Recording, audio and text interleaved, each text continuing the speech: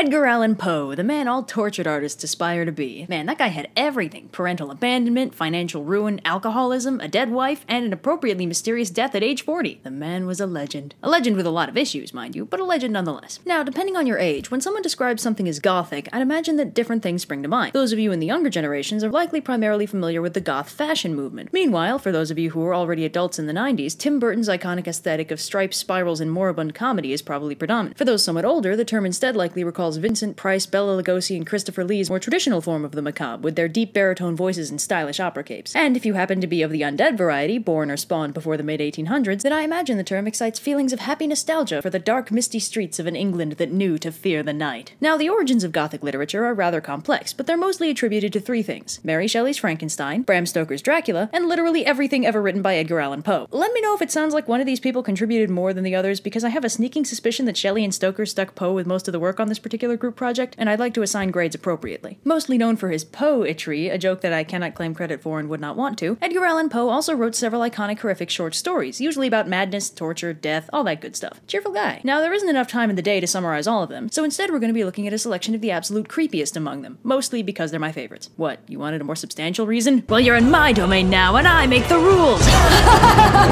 so first up, we've got a little number that I like to call the Pit and the Pendulum. I call it that because that's what it's called. This is the only one of today's stories with a sympathetic protagonist, and it's also something like a spiritual predecessor to Saw. So get ready to sympathize with our hapless and unnamed protagonist a lot, because Poe is one creative bastard when it comes to finding ways to torture people in increasingly improbable ways. So our story begins with our hero being sentenced to death. Encouraging start. So our hero, who for the sake of argument I'll call Fred, is currently in the clutches of none other than the Spanish Inquisition. Yeah, it can be easy to forget that despite their overall silliness in modern representations, the Spanish Inquisition was a terrifying juggernaut of a court system. Keep in mind, however, that the events of this story are not actually in keeping with historical documentation of the time. According to actual Inquisition rules, Fred would have been executed by the tried and true method of burning at the stake, rather than the oddly convoluted method of execution Fred finds himself in when he wakes up. So Fred wakes up in a pitch black cell, and after confirming that he hasn't been buried alive, no, that's another story, he wanders around his cell a little and confirms that it's big, it's dark, and hey, it's got a giant pit in the middle of it. So that's the pit part. But what about the pendulum? Well, I'm glad you asked. Fred blacks out again, and when he wakes up, he's been strapped to a table with a huge razor sharp pendulum swinging overhead. Wow, it looks like the time honored tradition of the villain dropping the hero into a death trap and leaving him there unsupervised is even older than I thought. Fred, however, doesn't consider this as interesting as we do, and instead decides to take in the scenery, which now includes a whole bunch of rats. Charming. So Fred eventually thinks to look up again when he finds shock, horror. Not at all predictably, the pendulum has lowered and is now swinging significantly closer to him than he'd like. So Fred, faced with this terrifying development, opts to take another nap. Focus, goddammit. And when he wakes up, he has a brilliant plan to use the conveniently placed rats and a conveniently placed chunk of meat to escape his bonds. Later renditions of the hero in a death trap scenario replace the conveniently placed rats with rather more glamorous solutions, such as conveniently placed broken glass or conveniently placed plasma cutter. So Fred and his new rat buddies work on freeing him, but time, as they say, is not on his side. Fortunately, he is still a protagonist, and law dictates that he escape just as the pendulum reaches him. So Fred is free of the death trap, only to find that the Inquisition prepared for that eventuality by sticking the death trap inside another death trap. This one's rather more traditional in execution, albeit with a twist. The walls start closing in, and also the walls are on fire. So the aforementioned burning wall things start forcing Fred into the pit, and he is once again mere inches from death when a conveniently placed French army bursts in to save him at the last moment. The end. On to the next exciting tale on our roster The Mask of Red Death. The eponymous Red Death, we are told, is a terrifyingly lethal plague that makes you sweat blood and die in half an hour. Our nominal hero, Prince Prospero, wants nothing to do with all of this tedious death business, so he calls all his nobleman buddies and they hole up in one of his fancy abbeys and seal the doors behind them. So while the peasantry drop like flies outside the gates, Prospero and his buddies party up a storm for six months. One day, Prospero decides to hold a masked ball because nothing bad ever happens at masked balls, and he sets it up all fancy like so the ball takes place in seven rooms of different colors, with the last one being, you guessed it, red. Anyway, in the red room, there's also this big fancy clock that chimes on the hour, and every time it does, the guests stop partying until it stops making noise, and then start up again. Wow, it's almost like the awareness of the inevitability of time is weighing on them a little. I'm sure it's nothing. So anyway, after several hours of partying, the clock strikes midnight, and a few of the guests notice that there appears to be a new face on the dance floor. He's wearing a gaudy red costume and a creepy red mask. Hmm, I wonder who he could be. So Prospero is more pissed off at the gauchiness of the costume than he is at the party crashing, because he's an idiot, and he demands the stranger unmask himself so they know who to hang at dawn. The red guy, unsurprisingly, doesn't comply, instead walking through the seven party rooms to the final red room. Are you sensing a theme in the colors here? I think I'm starting to sense a theme in the colors here. So Prospero reacts like any good host would and chases the errant stranger down with a knife, at which point the red guy shoots him a dirty look and Prospero dies instantly. This understandably wigs out the partygoers, who tear the costume off only to find, ta-da, there was nobody inside it.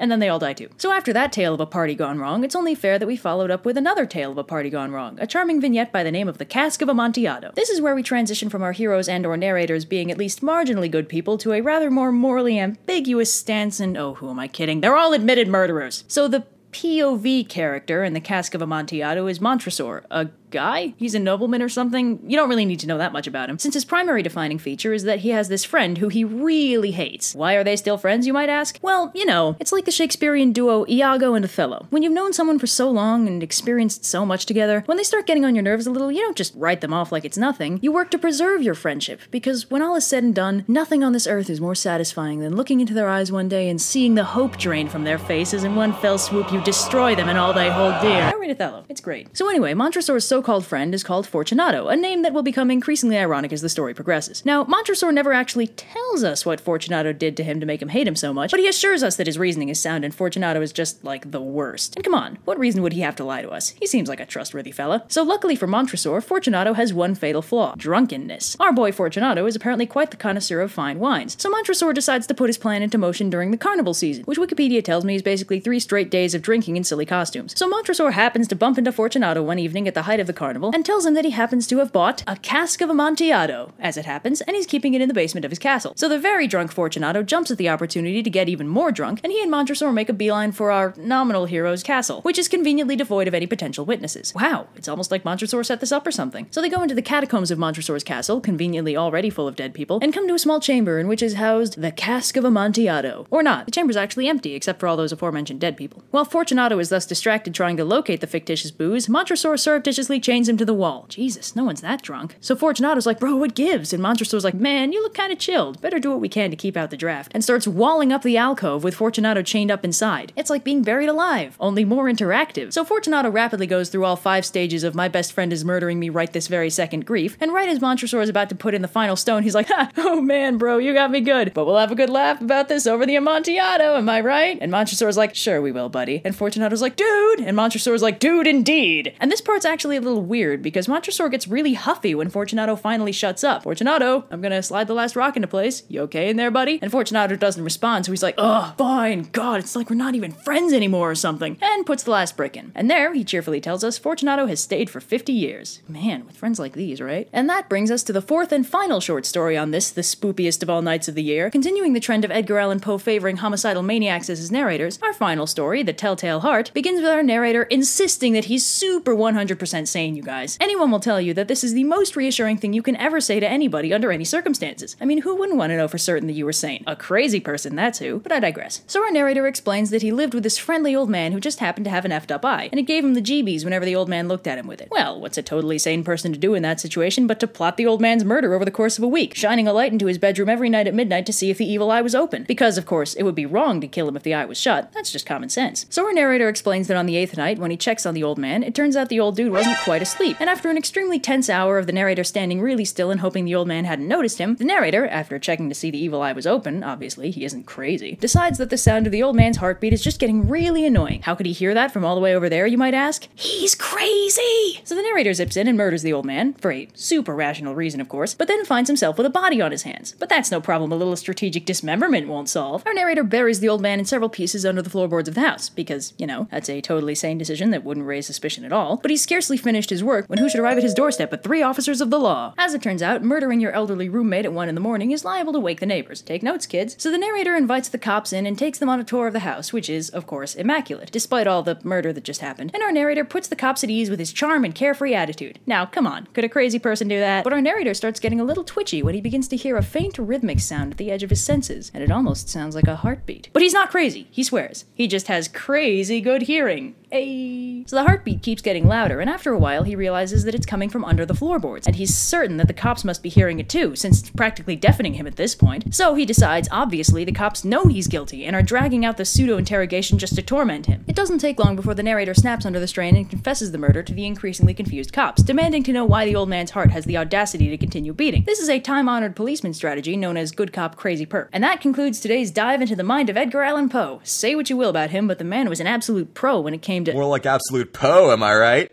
Eh? Eh? Get out. Eh, fair enough. Happy Halloween, everybody. Hapo Halloween, am I right? Hey Hey, Gregory. Want me to show you where I keep my Amontillado? Do I? This is Halloween. This is Halloween.